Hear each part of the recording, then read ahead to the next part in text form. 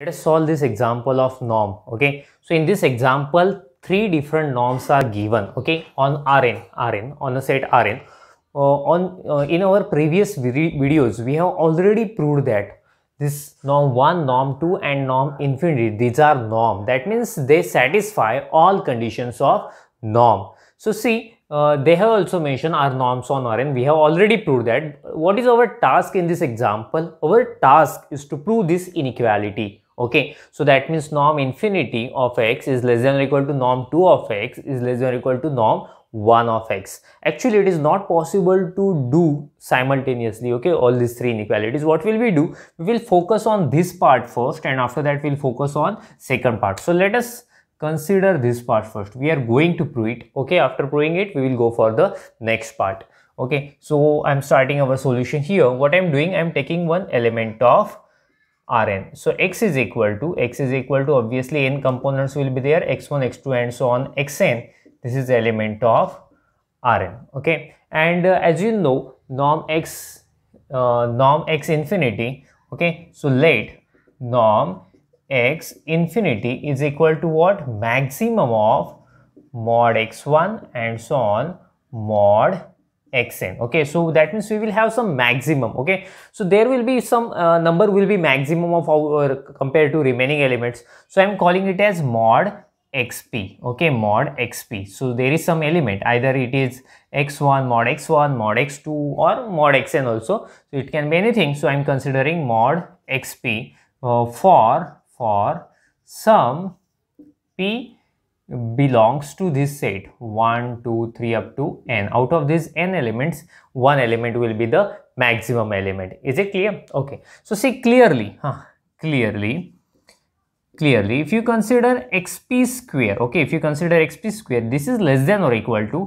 x1 square plus x2 square plus and so on xn square. That means xp will be there huh? 100% xp will be there. We are adding all entries. So one xp will be there xp square will be there. So obviously it is less than or equal to sum of all elements okay? So what i'm going to do i'm going to take square root positive square root of both sides okay? So taking taking positive square root of both sides so see what will happen if you take positive square root. So square and square root will get cancelled but it is positive. So that's why I'm taking mod here. Okay.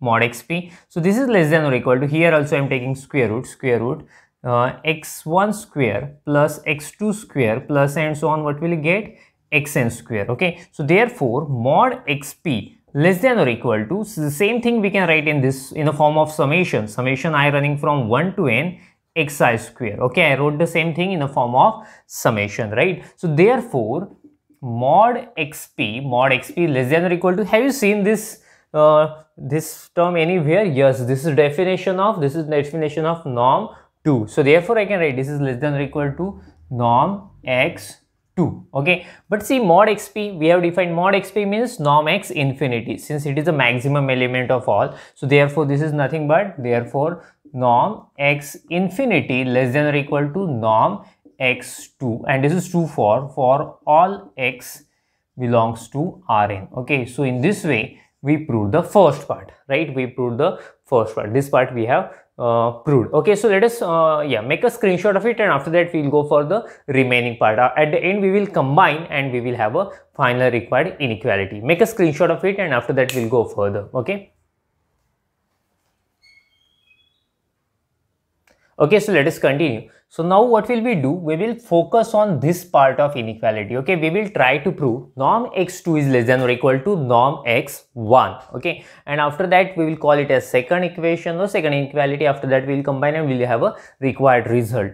Okay, so clearly I can write clearly clearly same x I, have taken huh? x means x1 x2 and so on xn n components are there so clearly x1 square plus x2 square plus and so on xn square less than or equal to mod x1 plus mod x2 plus and so on mod xn bracket square. Obviously the bracket square clearly a square plus b square is less than or equal to a plus b bracket square. Provided a and b are non-negative. Okay? Provided a and b are non-negative. And this is true here na, since we have taken the mod. Okay? So that's why bracket square is always greater than or equal to uh, if you take a square of each term. Okay? And if you add. So see what will i do? I will take a square root of both sides. See what will happen if i square it positive square root obviously? If you take a square root of both sides we'll have square root of x1 square plus x2 square and so on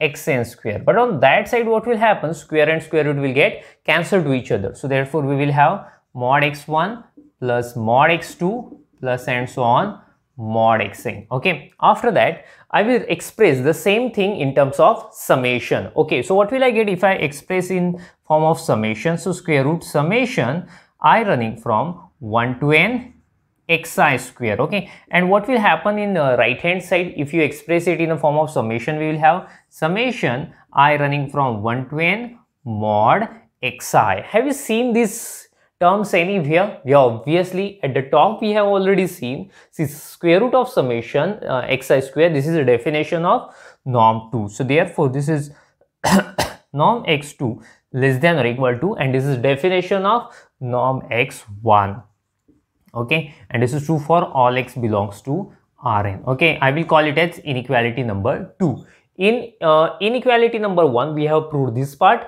And in 2 we are proving the second part. Okay? So therefore we can combine at the end. So from 1 and 2 so from 1 and 2 what can I write? Norm. I'm just simply combining norm x infinity less than or equal to norm x2 less than or equal to norm x1 and it is true for all x element of Rn. So in this way we completed this example. Make a screenshot of it and after that we will stop. Thank you.